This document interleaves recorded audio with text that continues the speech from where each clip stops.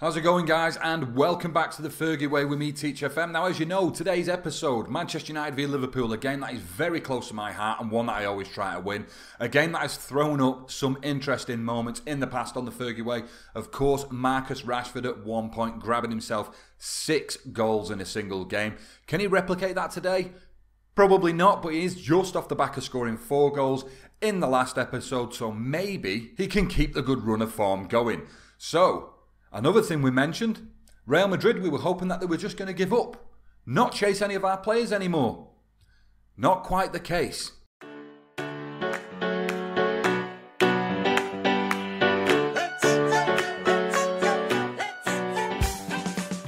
So Real Madrid have been relentless in the pursuit of our players. It's obviously because we have quite a well, just a well rounded team. We have world class players kicking around absolutely everywhere. So it started off, and this came just before the last episode, and I didn't mention it, but I think it's more come to light now. Um, due to the fact that they're chasing other players, they did make an offer of 70, well, a, a, an, an offer rising to 79 million pounds for David Alaba. Absolutely no fucking chance. Um, Alaba's been an unsung hero. He plays the left back position, but he has been so solid and so consistent. Of course, appeared in Team of the Year, so there was no chance of us getting him. We just rejected it. Didn't get any backlash from Alaba for doing so, so all groovy there. Surprisingly, they've come back in for Renato Sanches. As you know, they were chasing him in the summer. We offered him a new deal. It basically made them go away, but they did come back with a paltry offer of £72 million. Well, a, a fee rising to that. Um, we paid 97 a couple of years ago. He was never gone for that, but again, fortunately, they've not turned his head. And then they came in for young Timbo. Now, 36.5 million quid's probably okay-ish, but I couldn't replace him for 40 million quid. It, it just won't bloody happen. Uh, there's nobody on this game who I could buy for that money that could do the job that Timbo does for us. So once again, rejected. That did make his agent come along and want a new contract. However, to be honest, he got one. Um, I was just clicking on it there, hoping to see it. Um, he's been offered a new deal. It's about sixty thousand pound a week on a rotational contract. So to be honest, he was already on forty-seven or forty-three. So he's definitely worth paying that money because if you've noticed, this season he is playing a lot and lots of games for us. So as you know, we've only had a couple of days since uh, yesterday's episode, so there's not much to report in the way of news. However, I thought we'd take a quick look at the Premier League and see how everything's going on. So we already knew that Tottenham are basically two games in hand and they can leapfrog us. They can take a three-point lead. Hence why all these games at the moment are so important to us. But if we take a look around the league and just see for any other things that are going on. So the top of the league's pretty much in fact, it isn't pretty much. It's bog standard of what we expect to see. So we're in first, Tottenham second, Arsenal third, City fourth, Chelsea fifth, and Liverpool sixth. Maybe one surprise package would be West Brom. West Brom get mentioned to me a lot in the media, in the tunnel interviews, and in the newspaper interviews about how well they're doing, and they obviously are playing quite a decent season. Obviously, we have the OP Watford. Watford, who are known on Football Manager to basically always end up doing really well. We reckon there might be a little nod from Miles there, but other than that, pretty basic. Everton still sort of struggling down at the bottom, languishing down there, down towards the bottom. Obviously, they've probably sold a few of the players now. I know Ross Barkley made the move to West Ham, who incidentally is back on the transfer list now. Um, and Stoke, Villa, and Southampton in the bottom. Of course, I did mention the other day Southampton, a great save. Just started a new series on YouTube by Fat Man Dupes, worth checking out. But a bit of a surprise to see Southampton there because they had a good infrastructure, lots of youth and they have a decent squad. So obviously, over the course of a few years, the squads maybe took a hammering. Liverpool have probably been in there buying everyone because that's what they do. Um, so yeah, so we'll take a look at the player stats, and as we can see, we don't have that many players kicking around on there. We're used to seeing a lot more. However, Rashford's four goals in his last game have brought him up towards the top of the goal scoring charts, which is good to see. We then have David Alaba as a 7.61 in the average ratings. Uh, the only reason I don't think Ri-Shane Williams is featured in there is because a lot of his games have come in Cups and come in the Champions League. Um, assists, great to see. Juan Mata still doing the job, even though Hammers has come into the squad. Mata has still been consistent. This is why Mata, I didn't mention this, but he has just got himself a new contract, paying him a little bit less money. I've also got him down to, he was a key player, and he's either down, I think he's down to rotation Um, but he's paying get a lot of money for it, something like 180 grand a week. But um, yeah, so it means that the likes of Angel Gomes and the likes of Rodriguez can play basically without too much shite getting thrown at me for uh, for basically team status. Dybala, of course, getting nine assists. Now we expected that when we had a look at Dybala. The great thing about him was he could score, he could assist. He was basically a perfect complete forward, so he's doing the job there. Marcus Rashford has picked up five player of the matches. And a little bit surprising is we don't have um, our goalkeeper David De Gea getting clean sheets this year. So defensively, we've maybe been a bit frail. As you know, we tried starting with Romagnoli, not really worked out. Smalling's come in and done a job when needed, but then he got sent off a while ago, and it sort of pissed me off a little bit. Um, and of course, Rizshon Williams, the, the surprise package. We'll take a look at Rizshon before we get into today's game.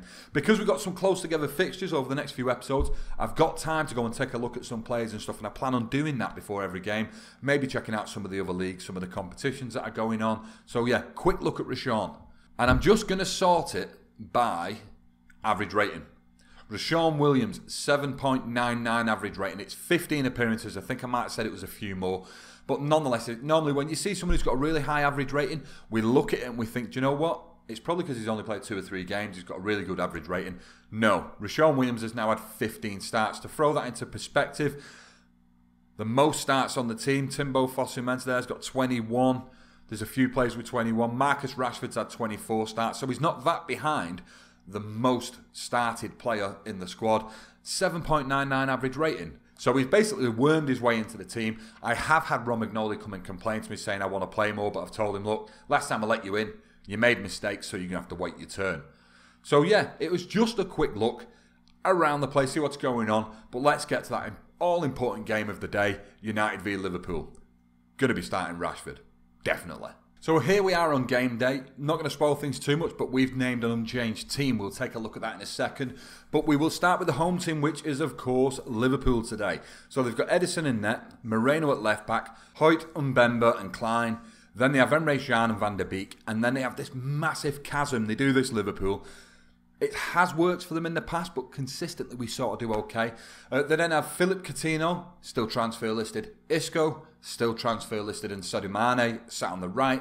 And then they have Luciano Vietto sat up top, who, of course, if you remember, I mentioned at the beginning of the season, had an absolute ripper in La Liga last year, ended top goal scorer. Not quite done it here, but obviously a quality, quality striker. As we move on to the United team, as I say, is unchanged, but I'll run through it anyway. It's David De Gea, Alaba, Williams, Bailly, Sidibe. Then we have Neves, Sanches, and Pogba, with Juan Mata playing a trequartista role, Dybala, and of course, Marcus Rashford up top. So, Rashford, is he going to do it today? I don't know. I, I bash Rashford quite a lot on this, and it's his inconsistency in, in his game. But this season, arguably, his consistency's got better now. That you might be thinking, "Stuff, hang on, teach." A few days ago, you were saying he was garbage, and he does. He has these moments where he plays a six point three or six point four. I think he's the the one player who I highlight more than most after a game and say, "You've done poor. You've done poor. You've done poor." Um, but I'm hoping it's starting to change his mentality. He's trying to get consistency in his game. So what we're going to do now? Head over to Roy see what Roy has to say. Of course, it is a massive game. Roy knows all about this, don't you, Roy? You scary, scary bastard. And yet, hard tackling across the front four. He's left out Mane, so I'm going to add him in. And I'm also going to try and close down Mane where possible. As we move into the team talk, you guys know this by now, but when it is a game like this, it is for the fans. We've got greens going off almost everywhere. So, I'm going to tell the other guys I assertively have faith in them and I don't think it's going to work for me. And it did. The only person it didn't work on was Juan Mata. I do have Angel Gomes on the bench, the young lad. We are, of course, the, the lads like uh, uh, James Rodriguez and uh, Callum Gribbin, they are close to return, but they won't be back for today's game. I do have an FA Cup tie with Brentford coming up, which will be great for these lads who need to stretch their legs a bit. So we move into the start of the game then, and uh, yeah, one of the ones I've been looking forward to. Have you guys? You know, um, I'm hoping you have because it's always one that tends to throw up some good results. Um, not necessarily always our way, but it's always a good ding dong affair, and we like that in Football Manager. Renato Sanches does foul within the first couple of minutes. We know that he's a little bit of an aggressive man, likes to have a little bit of nip at the heels, of course. He's only a little short fella, and he seems like a little scrappy type. So, Liverpool just had a corner. Nathaniel Clyne plays it back out to Isco on the right hand side, running to the byline. Coutinho really should have scored. Sidibe did a great job there of getting back on the line, and I thought we were about to force a counter attack Not the case. Early signs are not great though. Liverpool have got two shots on target within the first 10 minutes. Uh, two shots uh, within the first 10 minutes. Unfortunately, we've not had one yet, except for just then with Dybala putting it just into the side netting. And it's been about the only threat that we've had. However, we have the possession nearly 60% possession, quarter of an hour into the game. With a little bit of luck, we can turn that into chances. Dybala takes a wild, fucking wild free kick from probably 35 yards. No one knows what he was playing at. But uh, 20 minutes in now, Liverpool on the ball. It's Mane to Isco. Neves has him in his pocket, though. It's Paul Pogba to Mata. Mata tries releasing Rashford up on the left, but it didn't work. It was cut out by Clyne. It's Coutinho now on the other side, and look at all the space out on the left wing there. But we did win possession back. It's Rashford now. Rashford beats one. Foul by Nathaniel Clyne. He didn't like the fact that Rashford beat him, and he may be walking here because he was closing in on the box. Off, off. Ah, just a yellow card. Fortunately for Liverpool, just a yellow card. Mata will take the free kick. It goes into the wall, and we win a corner. It will be whipped in by Mata. Right towards the penalty spot. Come out with Sanches. Shoot Sanches. Oh, saved by Edison. I'm not sure it was quite going into the bottom corner anyway, but it was a decent shot. The lad had time and space to take it. Mata puts another ball in. And it's a foul. Oh, it's an Eric Bailly foul. There's me getting excited thinking I got a penalty. It's Mata on the edge of the area. One of those free kicks that just appeared out of nowhere. Didn't come to anything though. Liverpool have had a clear cut chance at the moment. We've not. We're happy with that because we've not scored a goal. Don't mind that. It's when we get clear cuts and we've not scored that's where it gets really irritating. Isco forward to Vietto. Vietto's got no support, but Mane arrives on the right. Alaba, well, Mane had a bad touch really and put it straight into Alaba's path, but he's managed to win it back. Mata to Rashford. Dybala's going to break. Dybala's through. Dybala, Dab, get in there. Come on, get in. 1 0, Paulo Dybala. Rashford finally repaying the favour. If you watched the game against Newcastle, Dybala put everything on a plate for Rashford. And it might have took a game to wait, but Rashford plays a lovely ball through. Dybala's first touch was imperative. It got him past the back line. It was sort of tipped in a little bit by Edison, so Dybala maybe could have placed it around him a bit better. But Edison obviously came out, closed him down quite well. But world class Dybala wasn't letting that stop him. It's 1 0 United. And we are back on the attack now. Sanches with a bad ball towards Sidibe. Moreno cuts it out. It's cleared out by Edison, But are we back in possession? No, Emre Can nods it back. There we go. Sanches to Pogba now. Rashford, Sanches. Rashford again to Mata. Mata with a shot from distance. It just goes wide of the post. It doesn't go wide of the post. Edison actually got a touch. We will take the resulting corner though. It's Mata whips it in. Eric Bailly trying to get on the end of it, but it wasn't the case. It's Moreno now to Mane. Clyne's got loads of space down on the right. He goes right to the byline near post. Vietto, how on earth he didn't score there? That's got to be a clear cut chance for Liverpool. It's not gone down as one. He was literally three yards off the line. David De Gea managed to save it. World class De Gea there. He's been doing ever so well since his little stint out the team where I brought Donnarumma in. As you know, just lately, it's been a long time since we've conceded, and long may it continue. It's Clyne to Mane. Clyne again out on the right. Emre Can at the edge of the area. Plays it out wide to Abbott or Marino. Moreno trying to come in. It's Coutinho with a ball in. Pogba may get there. He doesn't, though. There we go. Sidibe cuts it out. We could have countered then if Sidibe would have released it earlier, but we've still got it. It's Dybala plays it over the top towards Rashford. A ball that we've seen him try quite often. It was very successful against Newcastle, but at the moment. Oh, oh, here we go. Dybala's moving over as well. And he went for goal. He went for glory. I mean, Rashford obviously in a great vein of form at the moment, but if he'd have just slotted it across to Dybala, I think we would have had a guaranteed finish there. Unfortunately, we've not, and it is 1 0 on the cusp of half time. Thankfully, De Gea grabs the ball out the air, and we will go in with a 1 0 lead at half time. And yeah, I think the lads have played well for it as well. So I'm going to tell them that normally by now we're 1 0 down, we might not have had a lot of chances. I would jump on the lads. That's not going to be the case. I'm actually going to tell them quite happy with the way it's going. I'm going to tell Rashford assertively that I have faith in him.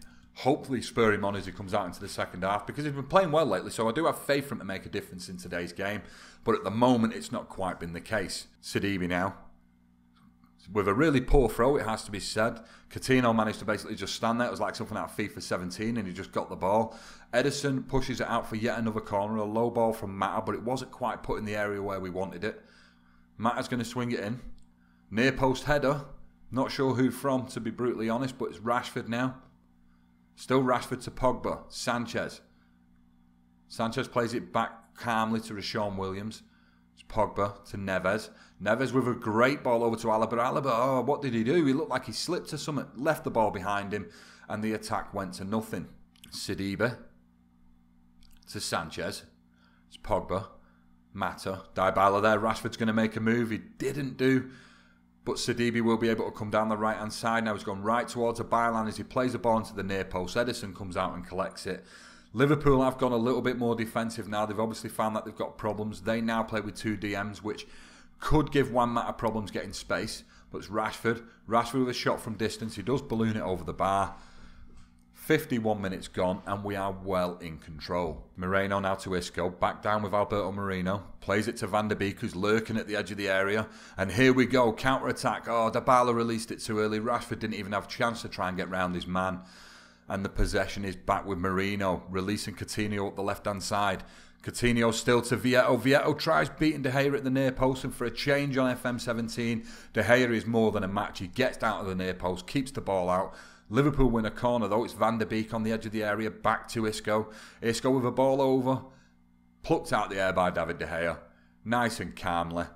And Liverpool's little passage of attacking play here has got me got me a little bit worried. We may end up, as we get later on in the game, having to try and seal it out. But for now, we'll remain as we were. It's Mane coming down the right hand side. Alaba has the ball though. I was waiting for Alaba to try and play it over the top. Then both Mata and Rashford were waiting on the back man, but the ball never came. Mane with a ball across, it does bounce off the top of the bar, and Liverpool have won themselves a corner.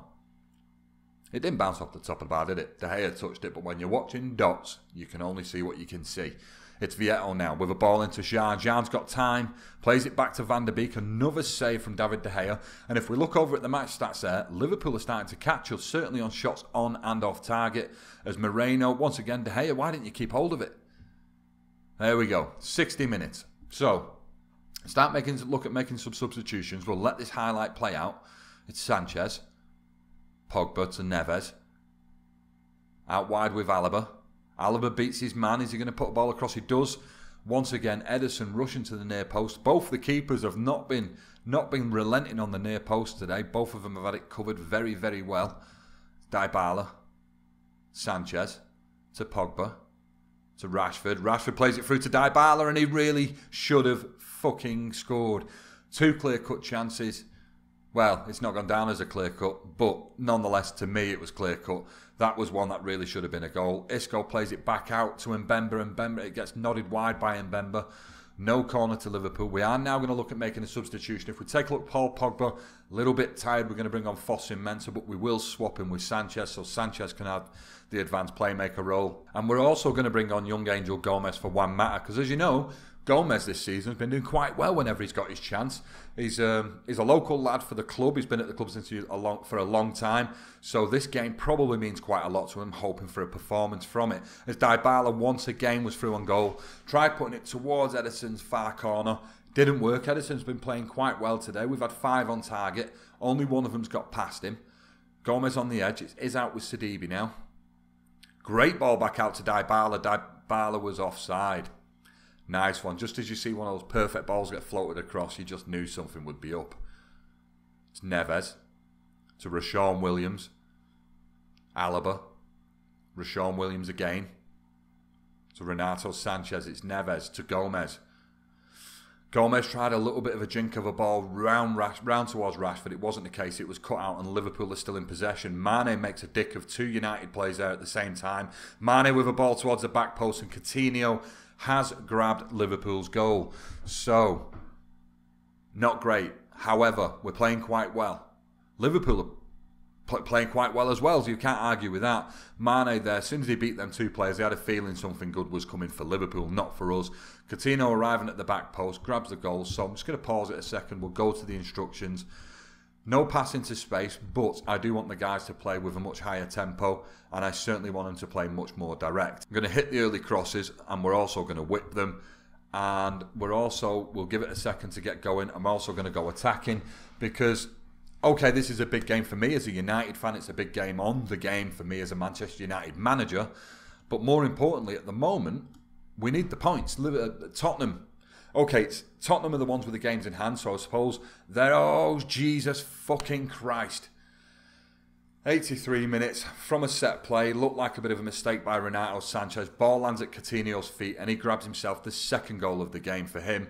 As we can see, Sanches with a poor clearance, it just put it right into Coutinho's path.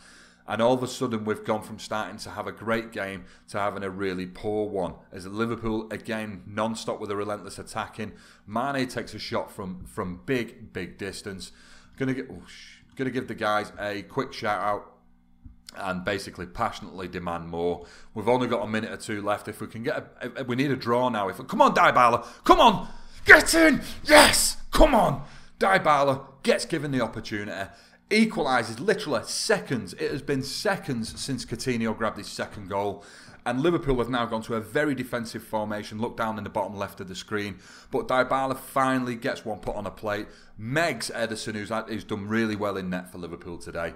But nonetheless, we'll take it. It's 2 2. I'm going to leave everything attacking. I could now try and protect this point, but we set it to attack because we wanted the win. So we'll see how the game plays out. It does look like we're in the very last highlight. Nothing really should happen here, but you never know. You never know. Five seconds left. It's Lucas Emre Benteke, and there we go, full time. Not a win, but more importantly, not a loss. And I think as a live con goes, a very, very good game. So there we go. We had a little chat with the lads, and I told them we were a bit unlucky today. Of course, Sanches with a with it. You couldn't even call it a mistake. It was a poor clearance. It landed at Coutinho's feet, so I wasn't going to bash them. So I told them they were unlucky. I also told Dybala, well done, mate. You had a ripper. You scored two goals. So yeah, that was today's game done and dusted. So there we go then, guys. Episode 13 gone. Gone with a win, job done.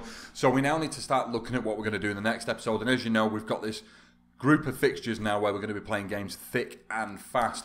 However, we're not going to play the Brentford game in the FA Cup. We played them last season, if you remember. So I've got players who have been on injury. They're on the way back to the club, so they're going to be the ones that we're going to feature, and that also some players who have not featured over the last two games.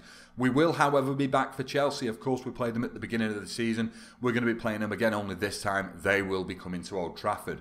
So, did you enjoy today's episode? Okay, we didn't get a win, but I do think it was a very, very good live com. Uh, so if you did, don't forget to hit the like button. It's helping the channel out tremendously. You guys are absolutely awesome at the minute because the growth has been astounding. If you're new around here, don't forget to hit the sub button. You can check the links in the description to see the season one, two, and three reviews so you can have a quick catch up on the Fergie way. Other than that, guys, I hope to see you in tomorrow's episode. I've been Teach FM, and I'll catch you later. See you in a bit.